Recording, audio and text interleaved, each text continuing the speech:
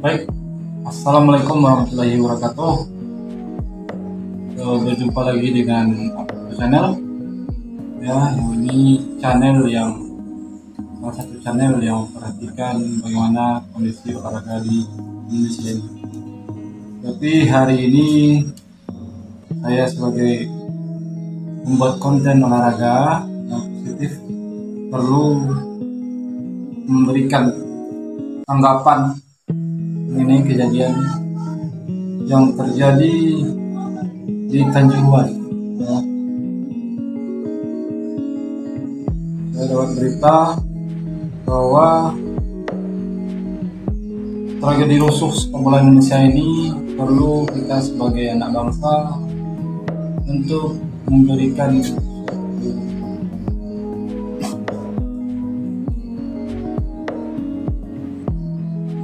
pendapat ya. Yang mana kita sebagai pecinta sepak bola lagi pecinta terkam ya. Merasa kejadian ini memalukan bagi Indonesia. Terlihat pada kanal-kanal yang beredar di informasi elektronik media elektronik banyak sekali yang mengulas tentang kejadian ini. Ya jadi tujuan video ini adalah kami sebagai intinya sebagai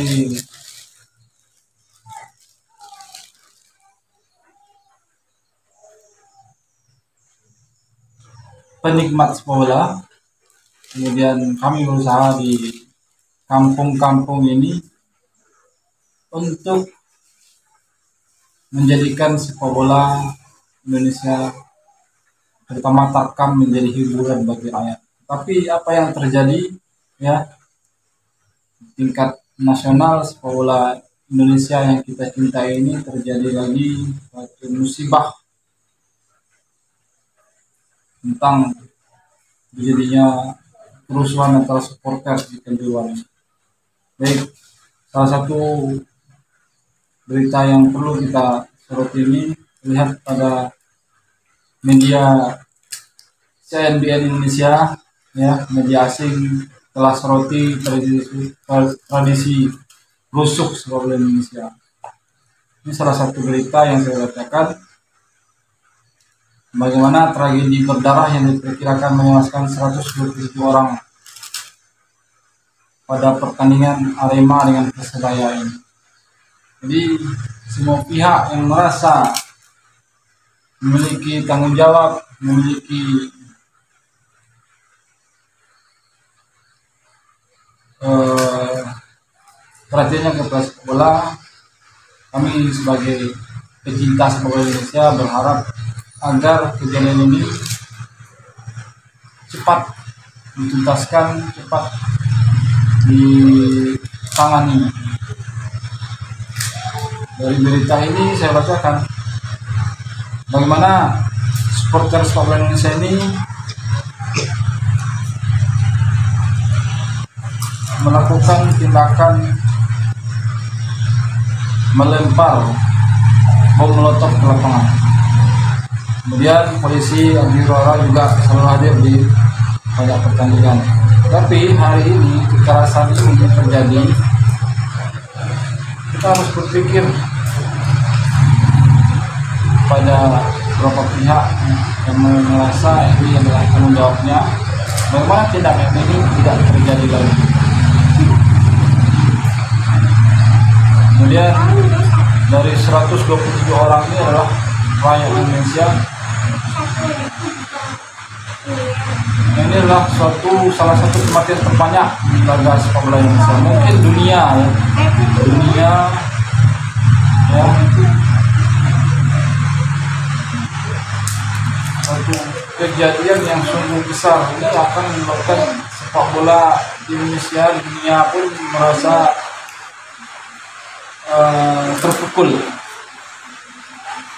Jadi kami sebagai pecinta sepak bola penikmat sepak bola apalagi tarkam mengharapkan jangan dipertontonkan kepada kami.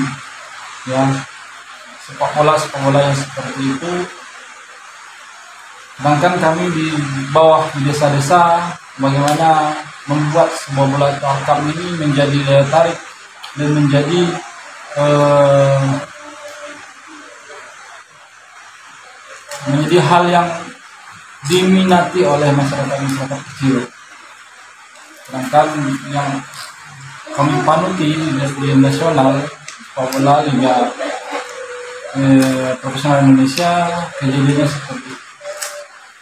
Saya harapkan dan kami harapkan saya perwakilan dari sepak bola Tarkam agar ketua PSSI agar yang segala pihak yang memiliki tanggung jawab di sini kami harapkan peristiwa ini tolong diselesaikan dengan adil dan kami harap tidak ada lagi kejadian yang membuat luka hati sepak bola Indonesia.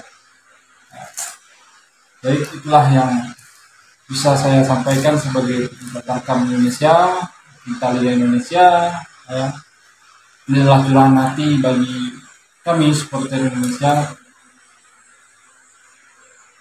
dan tolong walaupun video ini sederhana tolong ditanggapi dengan bijaksana oleh beberapa pihak yang merasa kejadian ini yang perlu dipertanggungjawabkan oleh siapa pun juga. Sekian dan terima kasih. Assalamualaikum warahmatullahi wabarakatuh